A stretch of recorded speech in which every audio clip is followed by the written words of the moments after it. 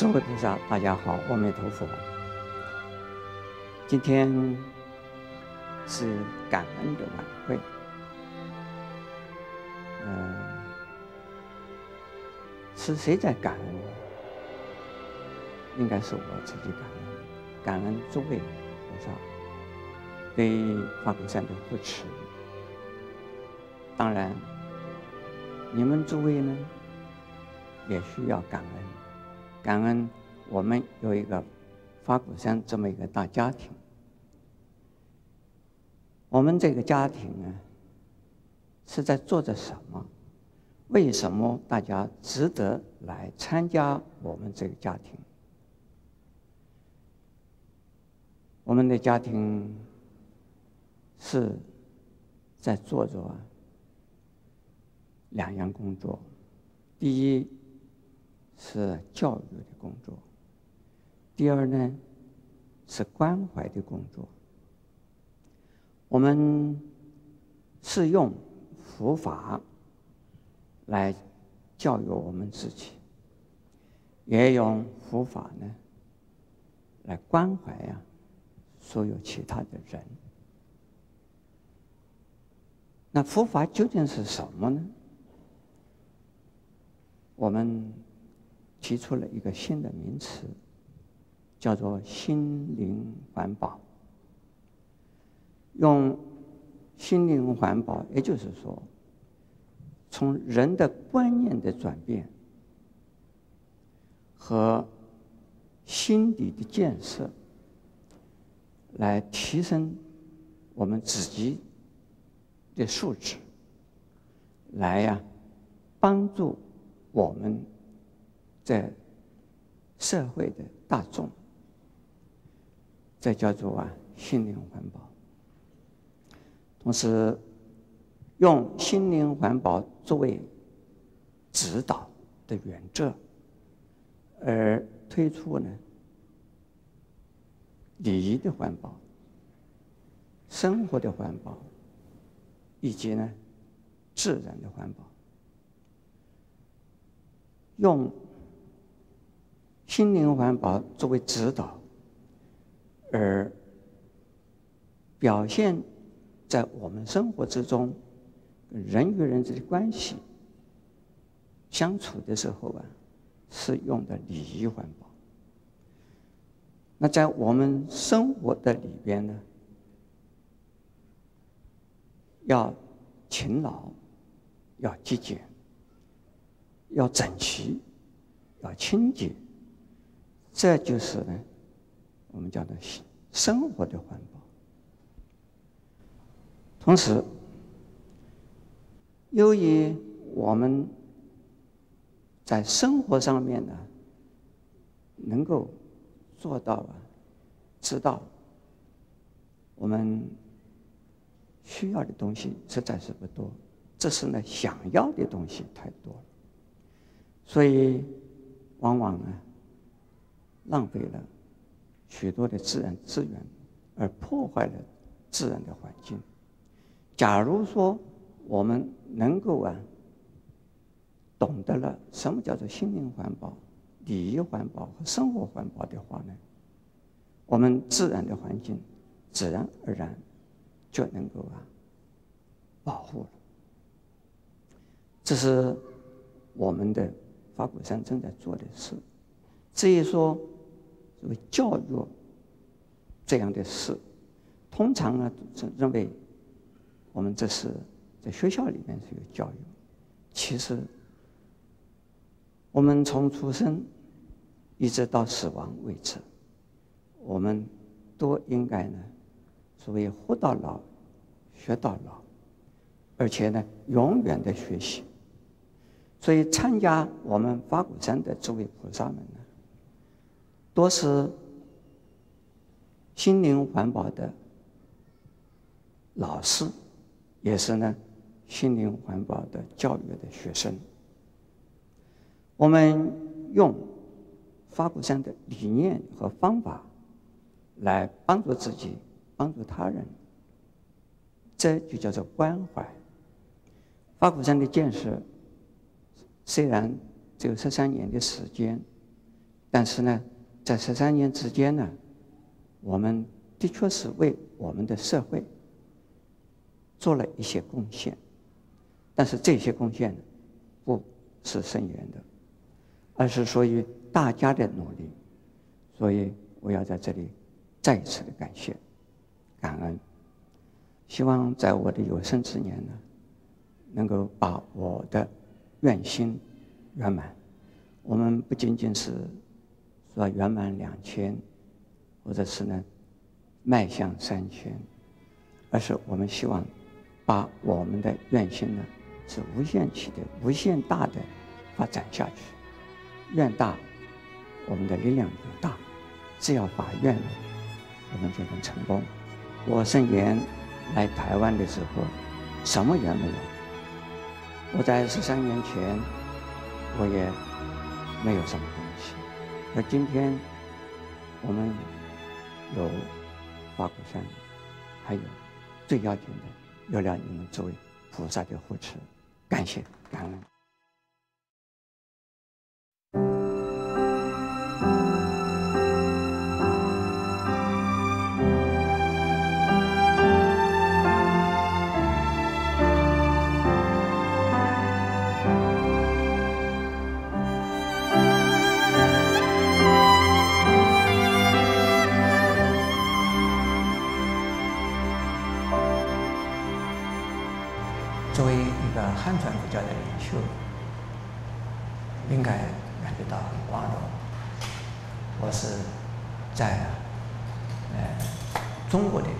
汉传佛教出家学佛。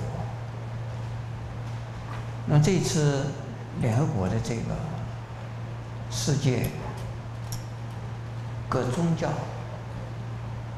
以及精神领袖的高峰会。邀请了有一千多个人，在联合国的大会堂呢，共聚一起啊，来讨论相同的问题，就是关心我们这个人类世界进入二十一世纪之后啊，如何的没有战争，如何的呀消灭贫穷，如何的呀使得我们的环境呢？不会继续的恶化。那大家得到的共识呢是啊一致。不过呢，从不同的角度、不同的立场、不同的宗教来谈共同的问题的时候呢，这个是最聪明的一种办法。不谈各宗教差异性，而是讲的呀是共同的希望。以及共同啊，对于愿意奉献这个人间的地球，所以这次的会议应该是值得鼓舞的，值得欢喜的。同时，我在这个会议上面呢，呃，受到非常多的重视，呃，参加了许多的相关的这个会议。这个联合国的组织有一个世界银行，世界银行是用了很多的钱花在这个贫穷地区，但是呢，贫穷的地区好像并没有改善。我说，物质的贫穷啊，是带来人的痛苦啊，精神的观念的贫穷啊。会为人类带来毁灭。我这句话讲的，他们眼睛一亮。我说，贫穷的问题当然要从啊物质上面呢，先给他们呢帮助。但是，如果精神的、心理的、观念的问题没有解决的话，那你做什么都没有用。你把所有的物质统统投注在贫穷地区。可能呢，在富有的地区变成贫穷，贫穷地区还是贫穷。他们的有战争，他们呢互相的呀在残杀，还有呢，他们为世界制造了困扰。我说这个问题呢需要解决，他们说怎么解决？我说既然全世界啊，不论是文明的，或者是未开发的，或者是这是开发中的国家，信仰宗教都是很普遍的，就是最落后的地区，他们也有宗教信仰啊。我说我们不是要给他们宗教，给他们另外一个宗教。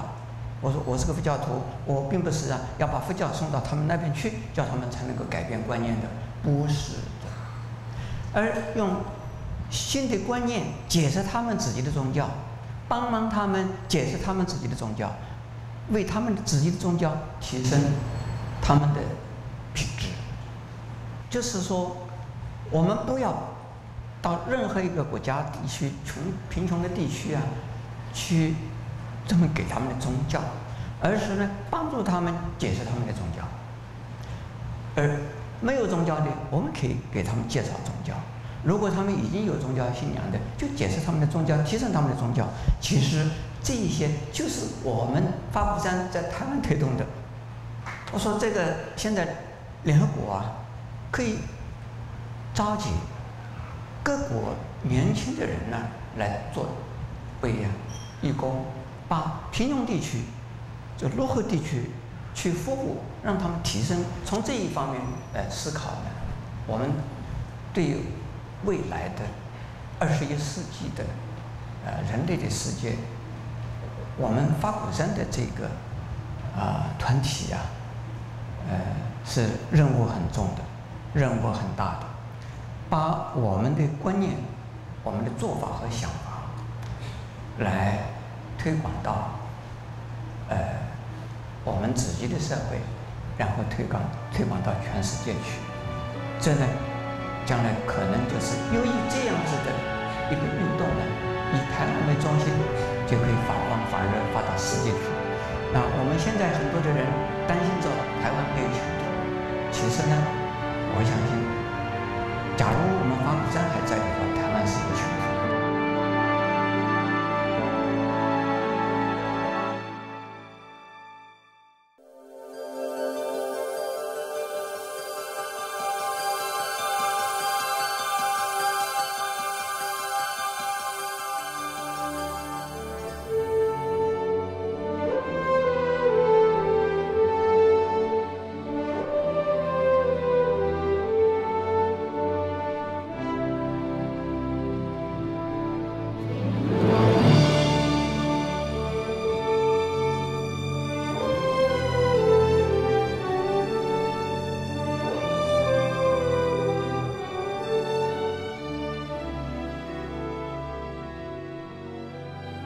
花鼓山这个地方本来没有，现在有这么大的许多的建筑物，这建筑物是没有什么意思的，而它的意思是在于说，用这些建筑物来做什么？用这些建筑物对我们的社会、对我们的世界有什么用？这才是重要的事。我经常是这样子想：凡是已经有人做的，大家做的非常好，很普遍的在做的，我大概可以不必做。那叫做。这个凑热闹了，还没有人想到要做的，而我们这个社会，我们这个世界需要做的，那我尽力而为。法鼓山就是在这个一个信念之下，慢慢的产生的。我们法鼓山的今天为止。我们是十六年，事实上这个地方是十六年，但是呢，我发这个愿呢，已经是二十多年的时间。在这个二十多年时间之中，是经过非常多的困难、阻扰、失败，但是呢，我就是在一个信念之内，就是我们需要做的。这个社会大家需要的事情，我一定坚持做下去，一定会有人支持，而最后一定可能够啊成功。那我们今天呢，算是成功了吗？不能算成功，这个是一个成功的开始，不算是成功的。那我个人只是呢，点一把火往下走，那我们。还有许多的事情需要做。我们这个世界问题很多，其实要让我们这个世界完全没有问题，这是不可能的事。但是要让我们呢免于恐惧，免于痛苦，免于跟人与人之间的冲突。源于人与社会、人与自然的冲突，因为产生冲突就是啊有痛苦，那会制造更多的麻烦，呃，更多的破坏。因此呢，我们相信呢，我们必须要从人的心。开始转变起的。所以人的心是什么？是观念、想法。观念、想法如果都是希望征服、克服对方，或者是希望征服其他的族群，或者是呢征服自然，那我们得到的结果一定是痛苦，一定是不幸福。我们呢？呼吁全世界的人都能够发起大悲心来，才能够达成呢我们这个社会、我们的世界永远的和平。和平可以达成的，但是什么天灾了、自然的灾害呢，还是会有。但是呢，由我们观念呢来转变它。有一位艺术家，他给我赞叹。他说：“这个法鼓山的建设，就是圣严法师的一项啊艺术品。这项艺术品，把它这个创作经过十多年的时间创作起来的。